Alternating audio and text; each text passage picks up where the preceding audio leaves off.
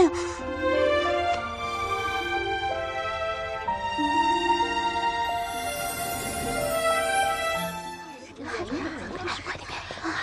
都给我精神点儿！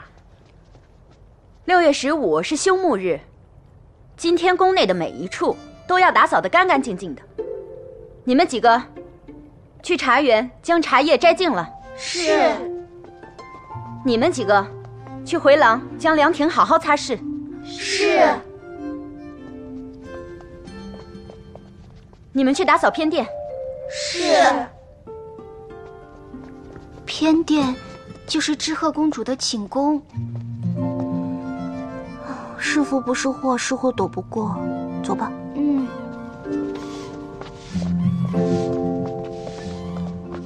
怎么才来？太晨宫就连偏殿都布置得这么风雅好看呀！这太晨宫的每一处都是帝君亲自陈设，自然是风雅好看。帝君还真是什么都会。还愣着干什么？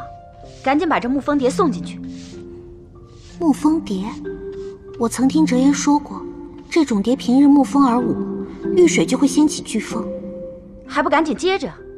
姐姐，我们都是新来的，这沐风蝶实在不是我等能掌控的。若是出事惹怒公主，还得连累姐姐受罚。日后让你们做什么便做什么，现在不会，就多做几次，自然就会了。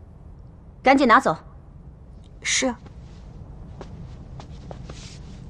你怎么就应下了？这分明是个烫手的差事，没人愿意做，才塞给你的。放心吧，我从小就在我家乡那边扑蝴蝶，没问题的。嗯，小事一桩，九重天我都上来了，这还能难得倒我吗？哼！这灰尘飞的到处都是，气味也难闻。若是义兄来我宫中了怎么办？快撒些花露。是。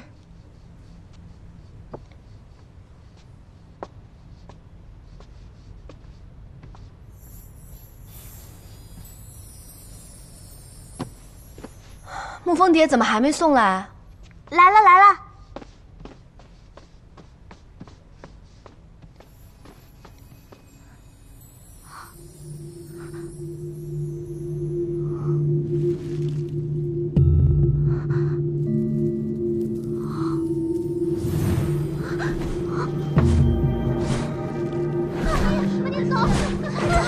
只为报恩啊！千万千万不要暴露了你青丘帝姬的身份。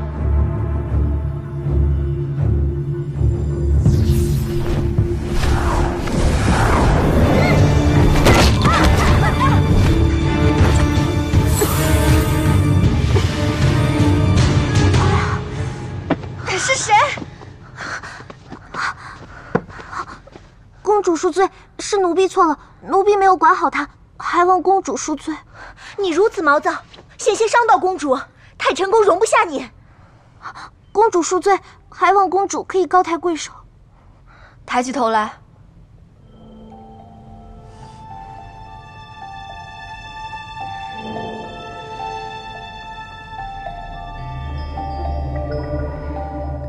义兄说了，对待宫中仙娥，需宽厚一些。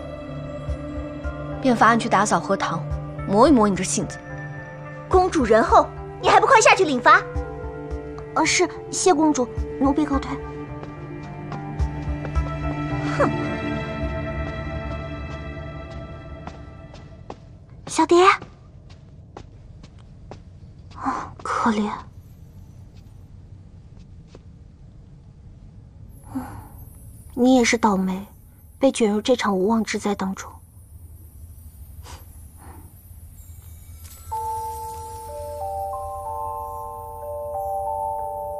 罢了，你我也算有缘。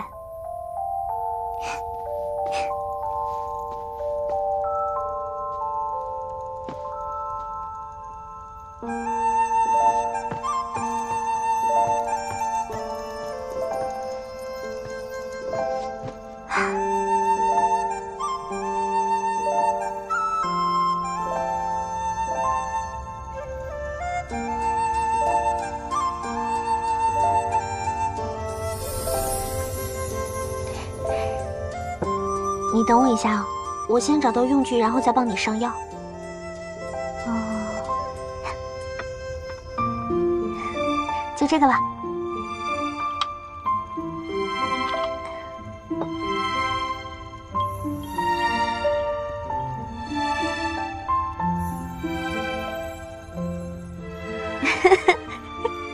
是不是有点痒痒的呀？我呀，从小就是青丘第一调皮捣蛋，我经常会害我的小伙伴受伤，所以呢，我也就练就了一身上药的本领。这都是我的经验之谈哦。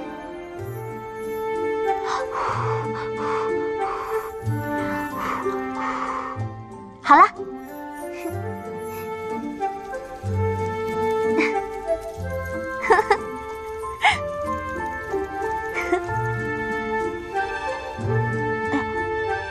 糟了，帝君的东西既然用了就得原样返还才是。哎呀，这怎么办啊？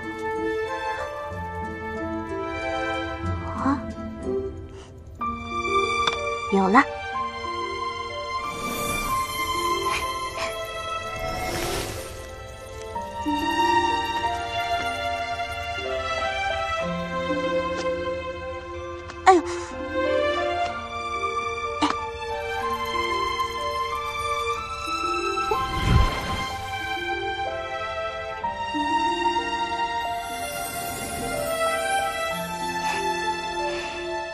九尾狐尾尖最柔软的毛，还做不出一支好笔来啊！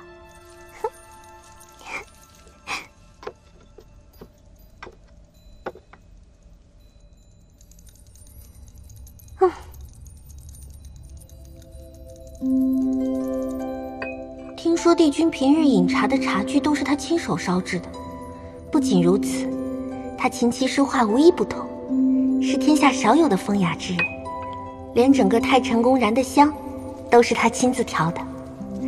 整个九重天啊，没有一个人能模仿得出来。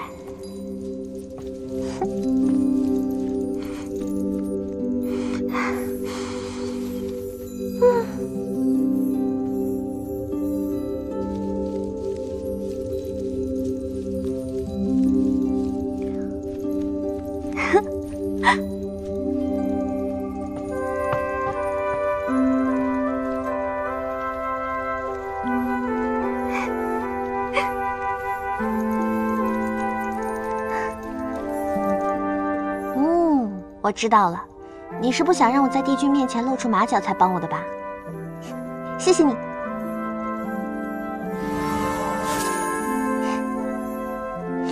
嗯，这下就连味道都跟这里的一样了。就，帝君，帝君，你向来沉稳，为何今日如此慌张？帝君，有孟浩的消息了。